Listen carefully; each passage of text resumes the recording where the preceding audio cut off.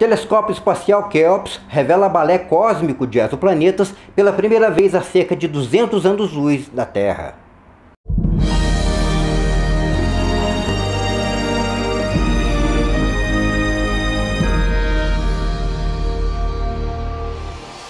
O telescópio espacial Keops da Agência Espacial Europeia, ESA, revelou pela primeira vez o balé cósmico de cinco exoplanetas, cujas diferenças de densidade questionam as teorias de formação desses corpos siderais, segundo estudos mais recentes.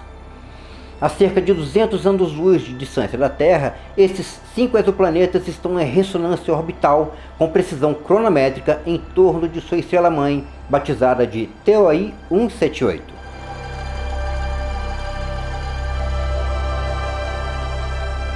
A ressonância implica uma razão de números inteiros entre as órbitas de dois ou mais corpos. No nosso sistema solar, enquanto o satélite Io de Júpiter completa quatro órbitas ao redor do planeta, Europa completa exatamente duas e Ganímedes uma.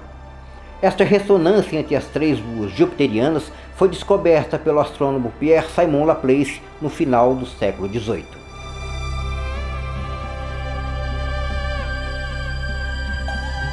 No sistema TOI 178 existem cinco planetas em ressonância 20, 10, 6, 4, 3. Ou seja, enquanto o primeiro cumpre 20 órbitas, o segundo realiza 10, o terceiro 6, o quarto 4 e o quinto 3. Essa animação ilustra bem o fenômeno.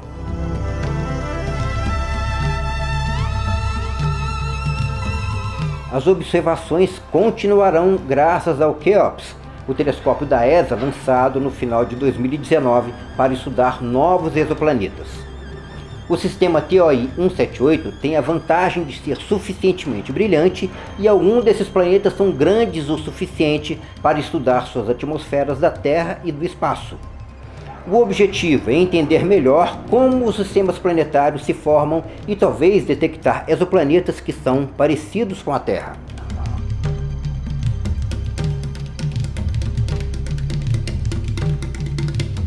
E é isso aí, gente. Espero que tenham gostado. Curtam, compartilhem, comentem e enviem sugestões. Paz e muita luz para todos.